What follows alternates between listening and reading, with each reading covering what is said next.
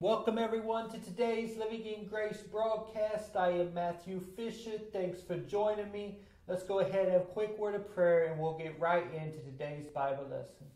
Father, in the name of Jesus, I thank you that the words I speak are not my own, but the Father who dwells within me. He does the work. Father, reveal yourself to us. Give us wisdom revelation, knowledge, and understanding of your word. I thank you that every satanic and demonic force is crushed under my feet. Let your word have free course and go forth with power and accuracy on today's broadcast. It's in Jesus' mighty, mighty, mighty name. Amen.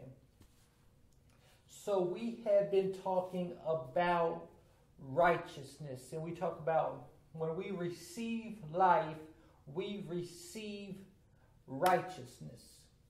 Jesus said that we must be born again. We must be born from sin to righteousness. When we're born, when we are born again, we are born from sin to righteousness. He said, Man must be born again to inherit the king, to see the kingdom of God. Without being born again, you can't see God. You can't receive the kingdom of God. There's a, and when we're born again, we might not be able to physically see a change like the a natural birth of the mother would, you know, when you can physically see the baby, but there's a spiritual change that happens when we are translated from darkness to light. Just like if I go into a room that's a dark room, you can't see nothing in it. And if I switch that, make that light switch, there's a change in the environment of the room. The room is now lit up and I can see to do whatever I need to do in that room. And that's the comparison he, he makes. He says there's a change. You go from darkness to light because I've now go from light because I'm now connected to God. Because when I'm when I receive Jesus, I receive righteousness. Righteousness being I've received my right standing with God. Now, righteousness is only received through Jesus. There is nothing I can do in my own ability. No, no action, no effort. There's nothing I can do on my own to receive righteousness or to receive right standing with God. Righteousness is a received by grace. It's unmerited, it's undeserved, it's not worked for. I can't I can't pray 4 hours for it. I can't fast for 3 days for it. I can't I can read my Bible all day and all night. But without Jesus, I can't receive righteousness. Why? Because Jesus, who knew no sin, was made to be sin that I might be made the righteousness of God in him. Jesus did absolutely nothing to be made sin. He never sinned before in his in, in his life. He never is sinned before in his existence. But he bore the punishment of our sins while without ever doing an act of righteousness without doing anything to deserve it, just like Jesus did nothing to deserve our sin, nothing to earn it, nothing I can do to qualify for it. Now I have received righteousness. I've received right standing with God.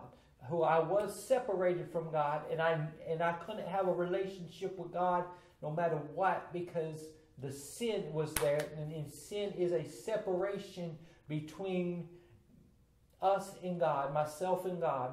Sin is a separation between me and God. I receive righteousness, which is right standing with God. There's now no more separation be, between me and God. Righteousness is what the Bible calls the promise of faith. Um, the promise of faith that we talked about last week is that we receive the Spirit of God through faith. He said, He says, don't let nobody trick you now that um, you received the Spirit by faith. So now you continue to walk by faith. Now that you receive the Spirit, no, it's it's still going to be your your, your walk is still going to be a walk of grace by faith. It's no longer you receive the Spirit and now you go off and, and now now everything's based upon your own actions again. It's not based upon my actions, it's based upon faith, and I put my faith in the grace of Jesus Christ. I receive grace by releasing my faith into that grace and I receive it. And he said, You receive the promise, which is the Spirit. The Spirit being that now I can be filled with God. I am filled with God. I receive God. I have my union restored with God. But God cannot be contained in a, in a, in a physical body.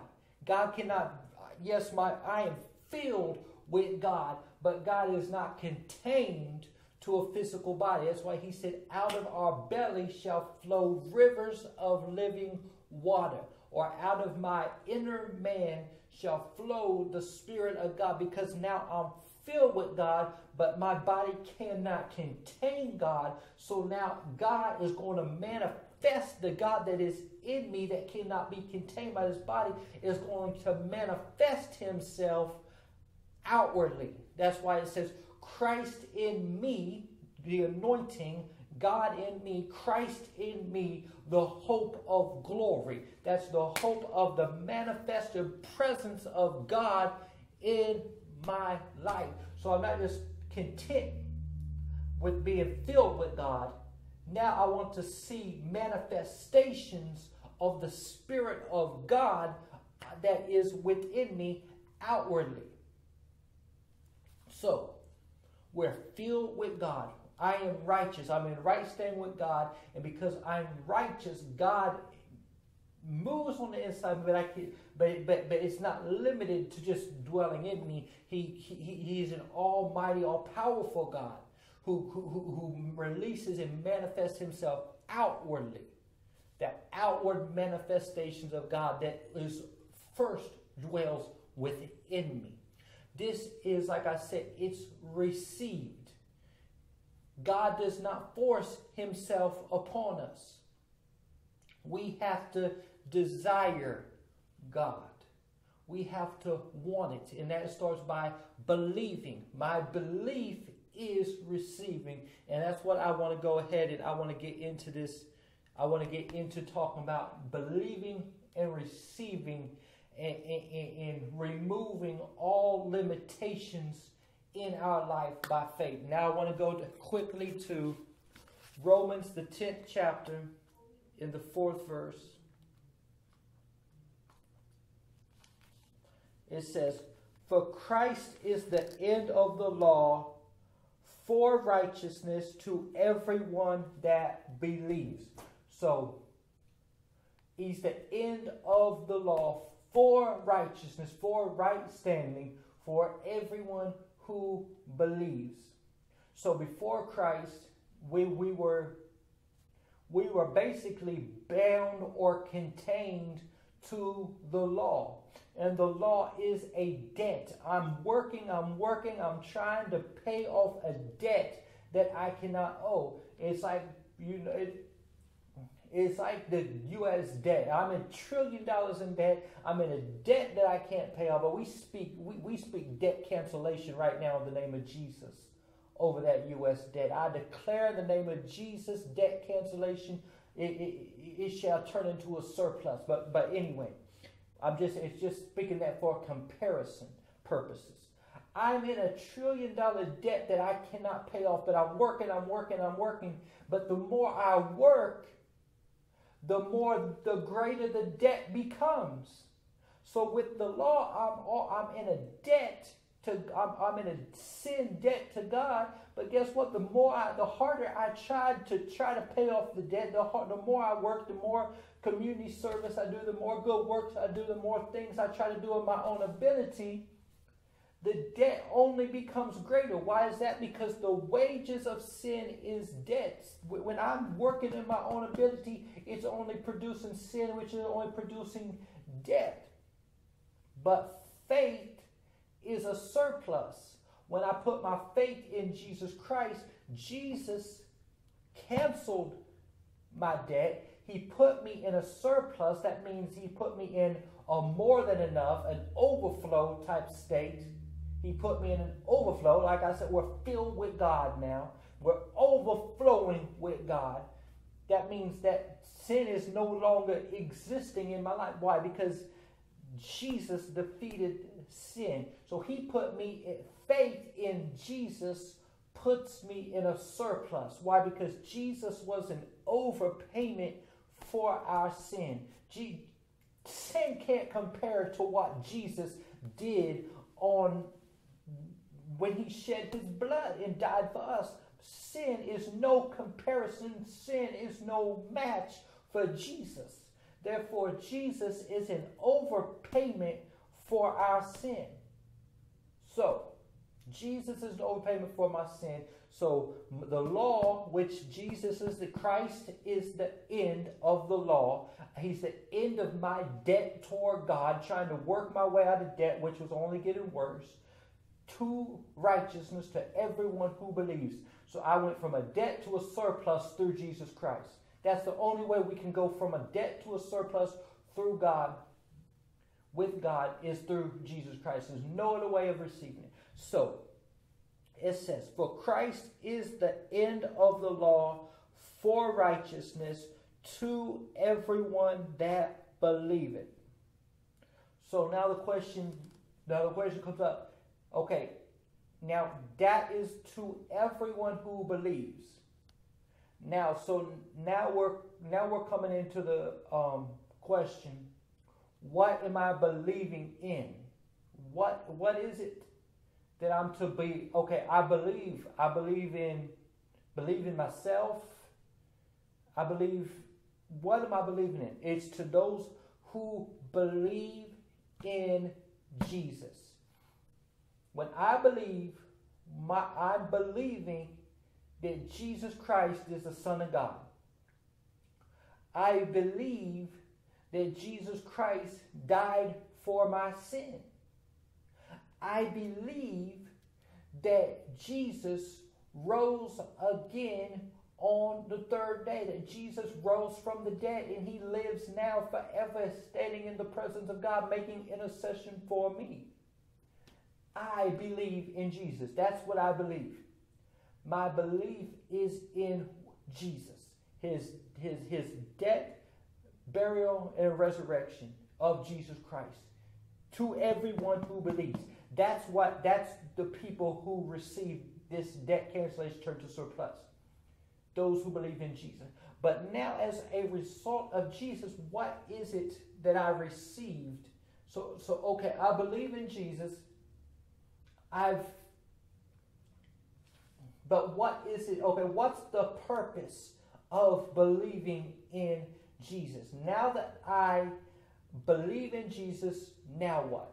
Okay, now what? Subsequently to believing, now I have to believe that I have been placed in covenant with God. There was an old covenant the, the covenant that we, we, we read in the Bible, it says New Old Testament, New Testament. It's really saying Old Covenant, New Covenant.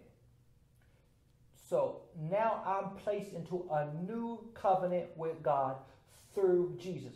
So now I have to believe in Jesus. Now I'm believing or putting my faith in the covenant that Jesus brought forth. What kind of covenant this is? This is a grace covenant, an undeserved covenant, an unmerited covenant, a covenant that I did not work for, a covenant that I did not earn, a covenant that I did not deserve to be a part of. Why is that? Because now I receive the covenant of righteousness, right standing with God through Jesus Christ. And a co- with, in, in terms of this covenant, I'm a beneficiary of this covenant through Jesus Christ. What is the terms of the covenant? That everything that I have belongs to God. I belong to God. all my possessions and everything, my body, everything belongs to that that concerns me belongs to God. I we sing the song, I give myself away. Well, we don't really even have to too much do that. It's good to consciously think about that, but we have been purchased with a price. That's Jesus, the blood of Jesus Christ.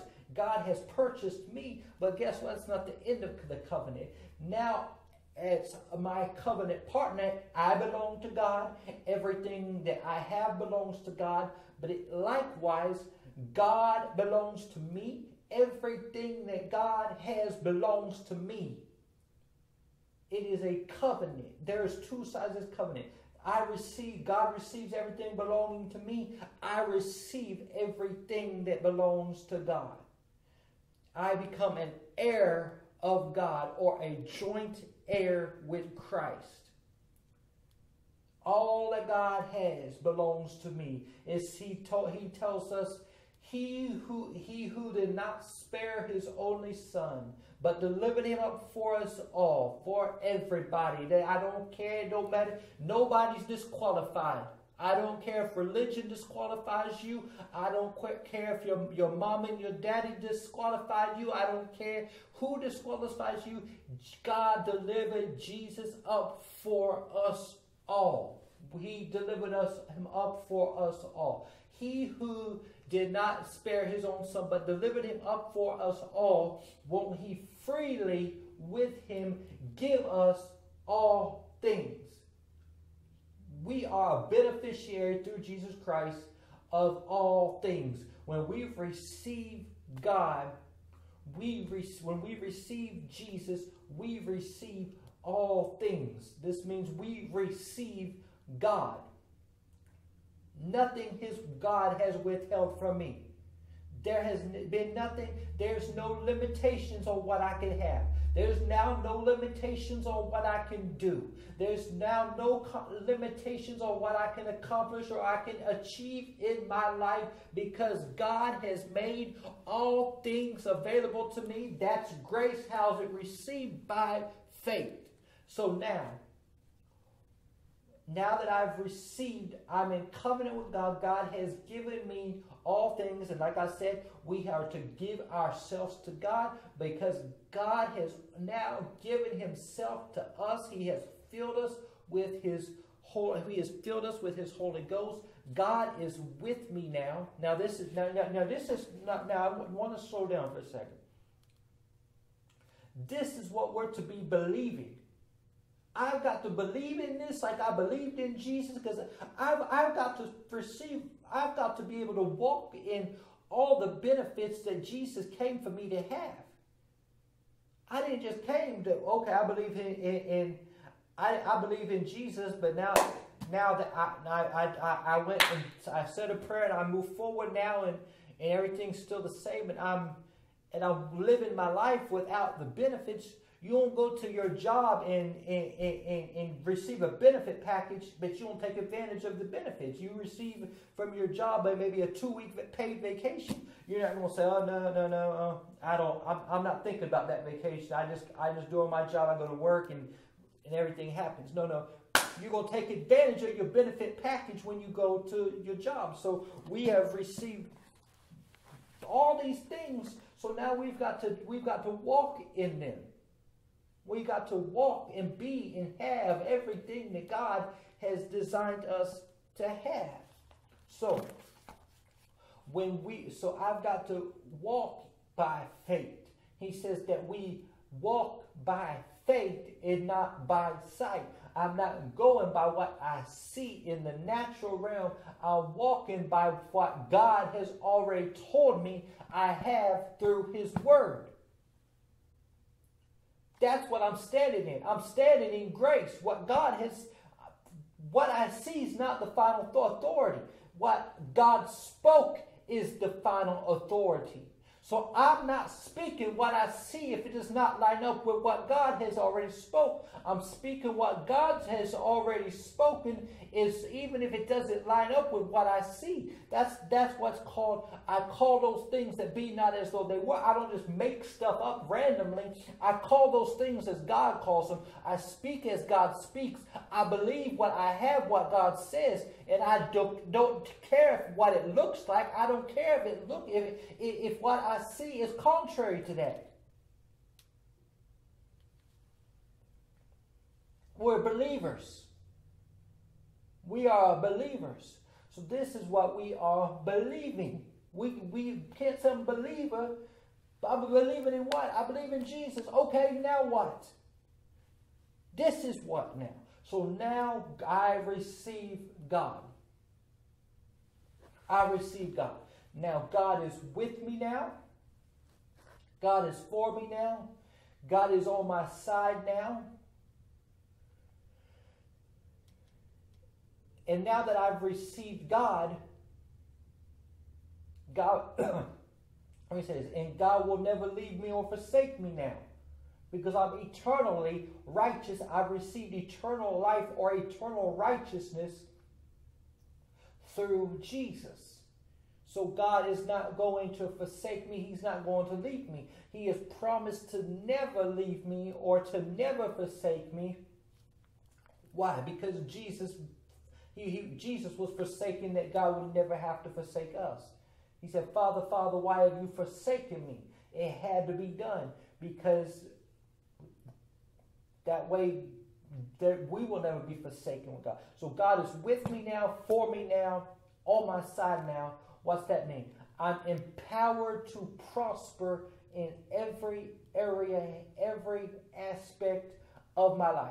I'm empowered to prosper in all that I do. Why? Because God is with me now. God is for me now. God is on my side now. There is now, there is now no limitations in my life. I now live life without limits. Why? Because God is with me and there is no limits on God. We are with, we are empowered by, we are in union with, we are one with a limitless God. We are we are empowered by in, in, in a, a limitless God. So the only limits that I have now is the limits I put on myself. If I put no limits on myself by and it, it, it normally what we contain ourselves with is the natural. What I see is natural, these are my limitations. Ah, I, I would do this, but but but but but this happened. I can't do this because of this. No, no, no. You're putting you're putting your eyes on natural circumstances. I don't put my eyes on natural circumstances. I don't put limits on nothing because I have a limitless God. What is limited to the natural realm, God is not contained to the natural realm. God is above the natural realm. He's not contained to, he, he might empower us to operate in the natural realm, but he's not contained to the natural realm. Therefore, for I might be living in a natural realm. I might be living in a physical body. I might be walking in a physical place, a physical earth, but I'm not contained to those things. I can live my life above it. That's what we call the supernatural. I'm not just putting my faith for natural things.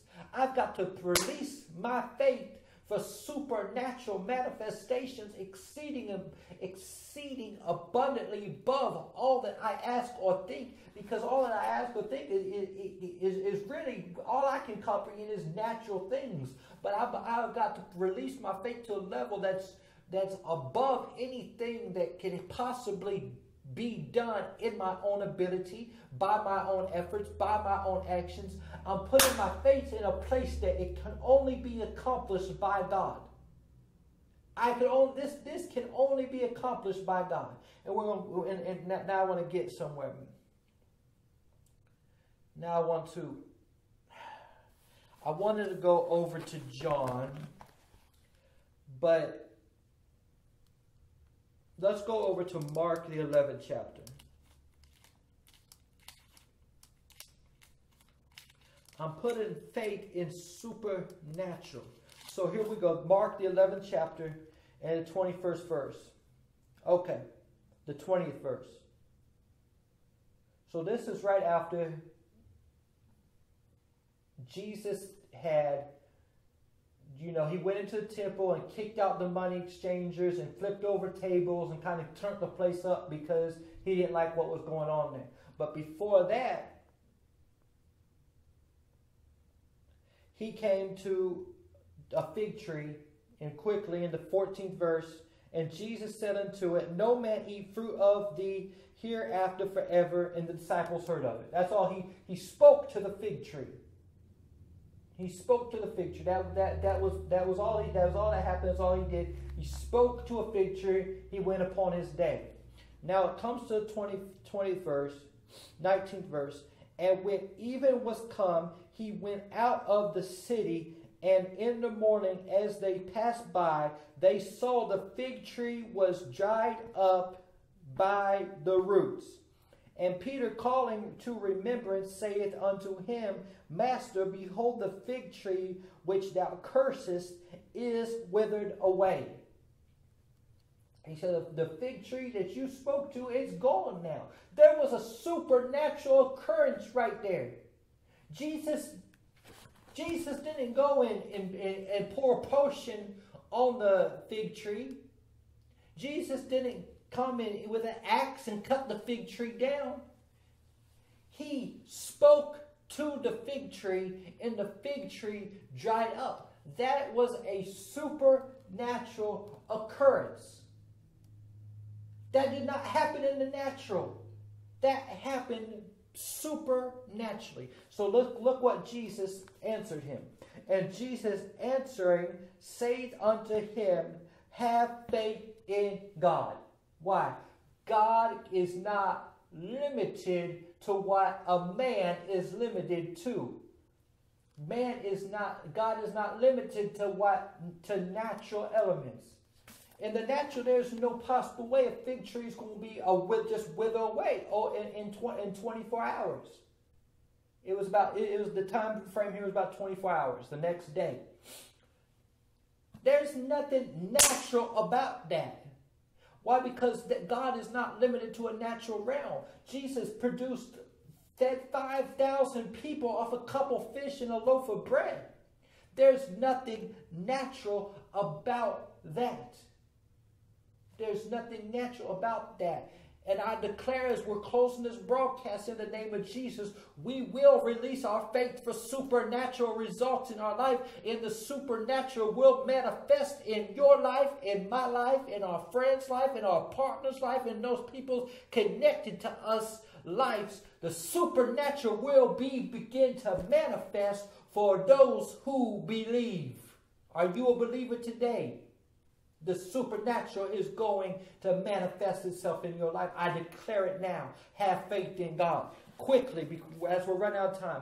For verily I say unto you that whosoever shall say unto this mountain, Be thou removed and be cast into the sea, and shall not doubt in his heart, but shall believe that those things which he says shall come to pass, he shall have whatsoever he say. Jesus is telling you this this supernatural lifestyle is not just limited, it's, it's not only for me. He said it's for anyone who believes. So it's available for me to operate in, and it's available for you to operate in, in the name of Jesus. Father God, in the name of Jesus, I thank you for today's Bible lesson. Continue to write this word in our hearts and our minds and increase it within us. Continue to reveal to us the height, the depth, the breadth, and the length of the love that you have for us. It's in Jesus' mighty, mighty, mighty name.